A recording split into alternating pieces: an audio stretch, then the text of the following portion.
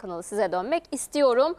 İzlediğiniz kadarıyla Molde maçlarında ve yaptığı transferler sonrası tabii ki ilk haftada 5 birlik bir skor bekler miydiniz ve takımı nasıl buldunuz? Trabzonspor'un bu arada Batshuayi Beşiktaş'a hayırlı olsun. Trabzonspor'un her maçında beşlik, dörtlük, beşlik, altılık skorlar çıkar. Çünkü ön tarafta çok enteresan adamlar var. Gerçekten enteresan ve yetenekli. Mesela reji verebilir mi? Ee, Janini'nin Trabzonspor'un ikinci golünde Janini bir pas attı mesela. Herkes onu kaçırdı gibi geliyor bana.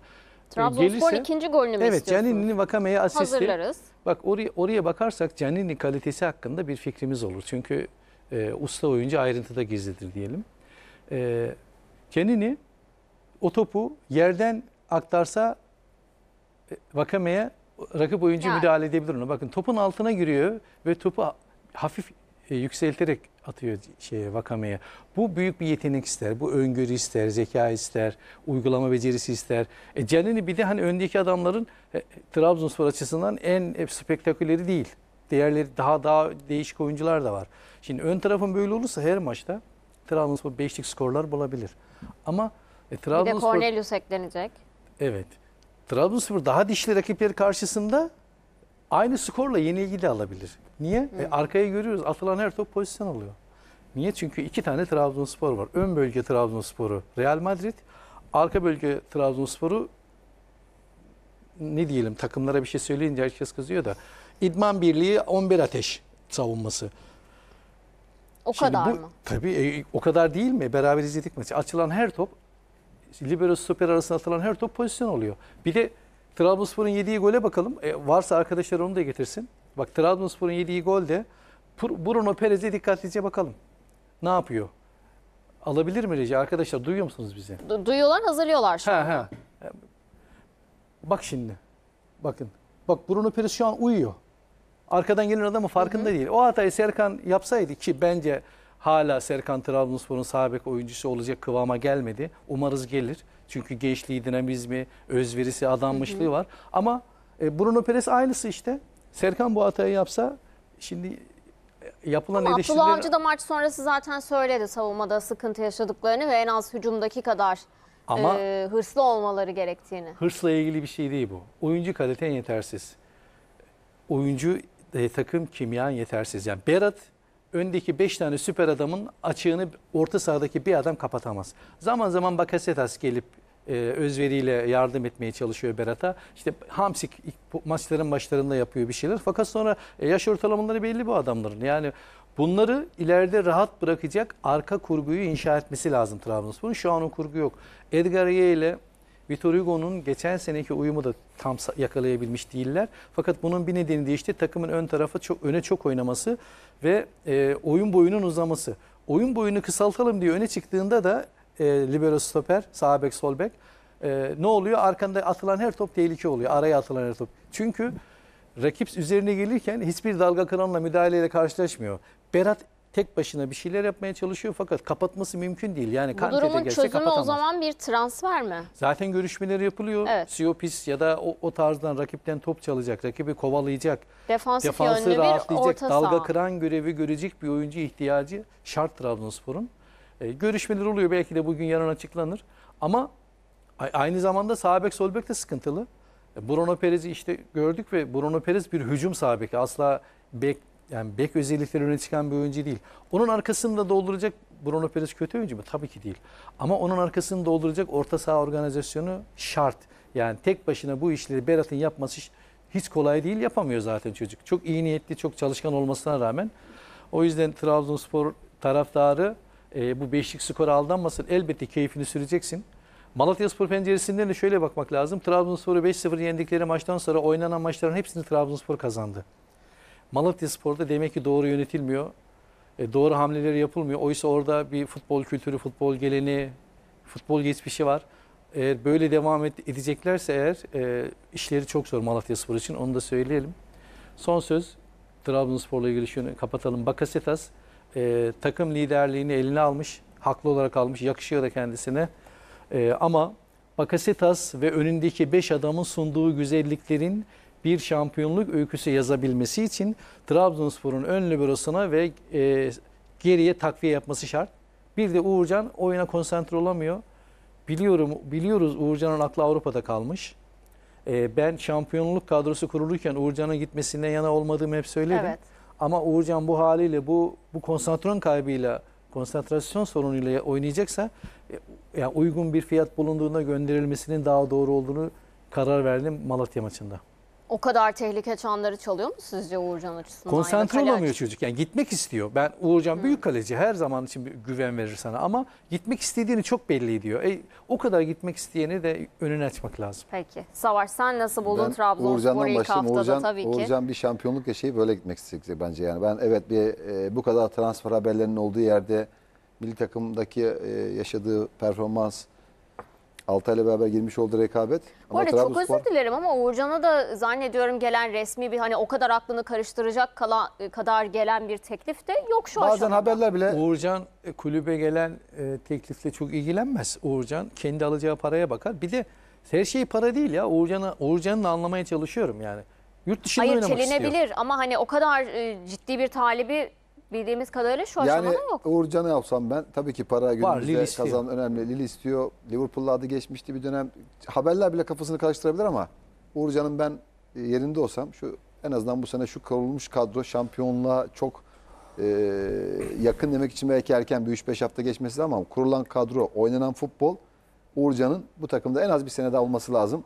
Hatta şampiyon olacaksa ki o tarihteki yerini alması lazım. Yani uzun yıllar sonra gelen şampiyonlukta. Belki Uğurcan da şeye inanmıştır. Görmüştür artık. Bu arada yani. Uğurcan'la ilgili şimdi editör arkadaşım uyardı beni. Valencia'dan en son teklif geliyor. 5 milyon euro kiralama, 12 milyon euro da satın alma şeklinde. Trabzonspor bu, Bu, teklifi bu rakamlara reddediyor. satmaz. Trabzonspor Evet. bu rakamlara Uğurcan'ı Hayır, satmaz. Uğurcan birazcık da Burak abisiyle, Yusuf abisiyle aynı takımda oynamak isteğini e, daha öncesinden iletmiş yönetime. Yani çok para tarafında bir değil teklif derken onu gelirse. söylüyorum. Biraz kariyer yapmak istiyor, yurt dışı yaşamak istiyor. İlk defa çıkacak. Ama Belki Burak o bir yüzden sene var ya. Burak bir sene var. Burak'la futbol oynamak istersen yani Burak bir sene var. Yusuf var. Ha, Yusuf takım arkadaşı. Yusuf'la Yusuf'un da Zeki var milli Ama takımdan, Mustafa orada- var ama Galatasaray'dan. ama ama anlaşılabilir sen gidersin bu transfer süreci o imza atarsın. Ayrı orada mesele, Yusuf başka yere mesele. gider. Zeki başka yere gider. Yani transfer sürecinde neyin ne olacağı belli olmaz. Trabzon'un bugünü konuşacak olursak evet savunmada ciddi sahafları var.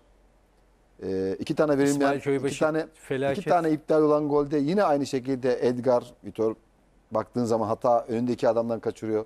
Vardan dönen penaltı Çünkü yapılan hiçbir hata engel var. olmadan limana geliyor e, yabancı gemiler. Hiçbir navlun, navlun falan ödemeden direkt giriyorlar limana. Ne yapsın? Liman görevlisi iki tane her tarafa yetişemiyorlar. Varın iptal ettiği sorun orta penaltı saha. değil, kontrolsüz giriş. Yani o savunma bölgesine hocanın bir an önce çözüm bulması lazım. Orta sahadan ben e, açıkçası maçı izlerken keyif aldım. Bundan önceki maçta da inanılmaz şekilde top yayılımı, gidişli, hücuma çıkarken sağlı sollu bindirmeler, Trabzonspor taraflı tarafsız herkese keyif veren futbol oynamaktan daha önemli bir misyonu vardır. Oynadığı ligin şampiyonu olmak.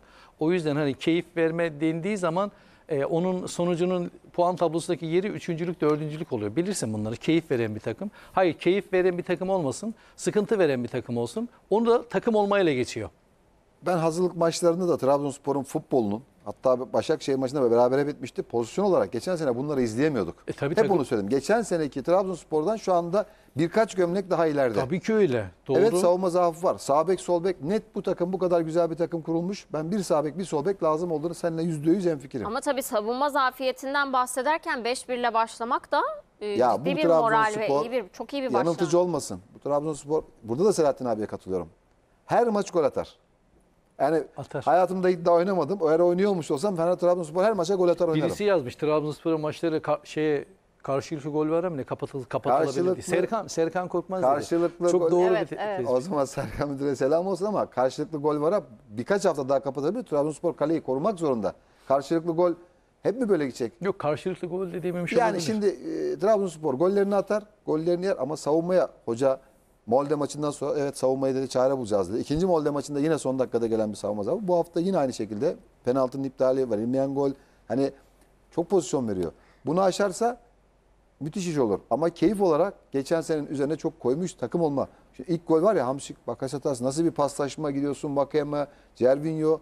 Yani Şimdi bu arada biz lige odaklandık ama önünde bir de Roma maçı var Trabzonspor. O zaman ona da şöyle- şöyle bir şey tabii söyleyeyim. mücadele. Hayal görmüyorum. Trabzonspor Roma yakıp gelirse benim için sürpriz olmaz. İlk maç burada. Evet. Yanıp Burada de. burada Trabzonspor o zaman Roma'da buradaki sonuç ya gol atıyor. Roma'ya da atacaktır. Bak bir olur, iki olur, üç olur. Bu Trabzonspor çok gol atar. İnşallah. şöyle bir Türk takımlarına karşı hiç baktın mı kimlere karşı ne olmuş? Ben şöyle bir baktım Roma deyince hemen. Galatasaray Roma'yı Roma'da yaktı olaylarla geldi futbolculara maçtan sonra Bir takım saldırdılar. Denizlispor Roma'yı eledik. Gaziantep Spor Roma'yı eledi. Roma'yı eledi. Bir Başakşehir'in orada Roma'yı yenilmesi var. Fenerbahçe ile oynadı. Beşiktaş iki maçta da yendi yanlış hatırlamıyorsam. Roma'nın Türk takımlarına karşı büyük bir şeyi var yani. Güçsüzlüğü ve şanssızlığı var. Trabzonspor'un da ben Roma'ya karşı bu şans serisini sürdüreceğine inanıyorum. Hayal Dileriz ki görmüyorum öyle bak. olur. Çünkü İnşallah öyle olur. dünkü izledim Trabzonspor. Müthiş keyif veriyor.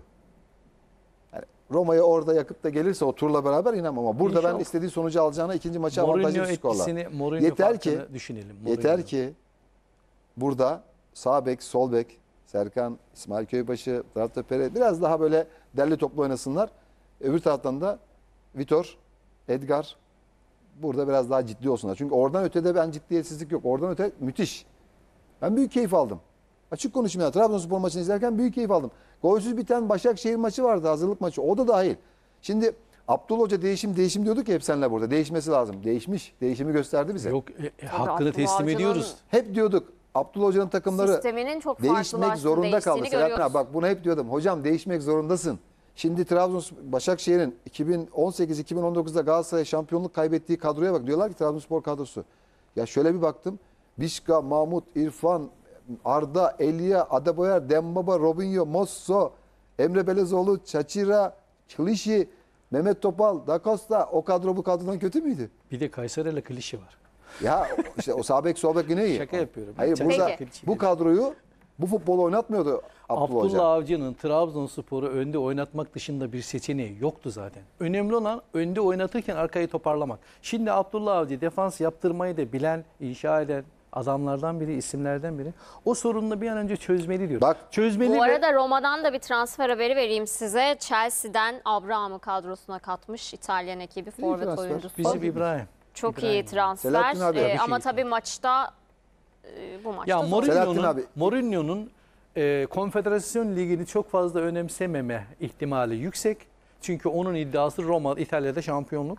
O iddia yüksek. Hani o iddiayı çok fazla e, tepeye taşıyıp yedeklerle falan çıkarsa ki öyle bir ihtimal de var. E, Trabzonspor'un da tur atlama şansı olacaktır tabii. Ya az kadroyla da çıksa o kadar e, haksızlık İki etmeyelim. tane iki temsilciye. tane Molde maçı. Bu maç hocadan ikinci kez ya da üçüncü kez savunmadaki daha iyi olmak yani savunmaya vurgu yaptı. Savunmaya bir, bir iki maç daha vurgu yaparsın. Üçüncü maçtan sonra onu kabul etmem. Peki. Elindeki mevcut oyuncu ne olursa olsun onun en iyisini almaya çalışsın. O oyuncularda bir değişim lazım şimdi. Evet. Yani transfer yapmayabilir de Trabzonspor. Ama seni iki maç daha hocam ben savunmada zaaflarımız var düzelteceğiz. diye. Muhtemelen Serkan'ı sağ beke alıp Bruno'yu daha önce de oynadığı için İtalya Ligi'nde de oynamış sol bekte zaman zaman Perez'i. Yine hoca sağa çeker, şey sola çeker Perez'i İsmail Köybaşı'nın bu performansından sonra. Yani burada yanlış anlaşılmasın. Hangi hoca olursa olsun iki hoca yani bir hoca kalkıp da iki maç, üç maç savunma zaaflarımız var. Bunları çözeceğiz derse aynı şeyleri söylediğin zaman orada Ümran, Tabii Ümraniye'de bu 3 bir bu takviye takım. yapılacak mı? Nasıl devam edecek o süreç, transfer süreci? Onu da izleyip göreceğiz. Ee, Daha da tabii e, sağlıklı yorumlarımızı e, takımı daha fazla izledikten sonra da yapacağız diyelim ve isterseniz Fenerbahçe'ye geçelim. E, Sarı lacivertli takım da galibiyetle başladı lige. E,